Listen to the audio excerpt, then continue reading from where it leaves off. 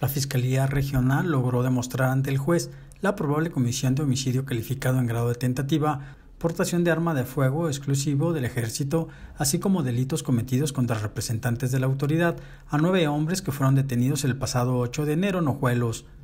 Aquel día, elementos de la Comisaría de Seguridad Pública Municipal se enfrentaron con varios sujetos que viajaban en una camioneta, dejando saldo de un policía municipal lesionado.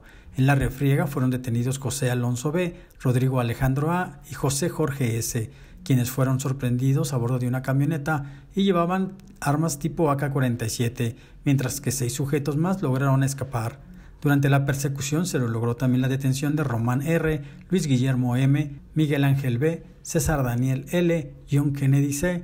y por último a Julio César M., a quienes les aseguraron dos armas de fuego tipo AR-15 con las que presuntamente agredieron a los uniformados.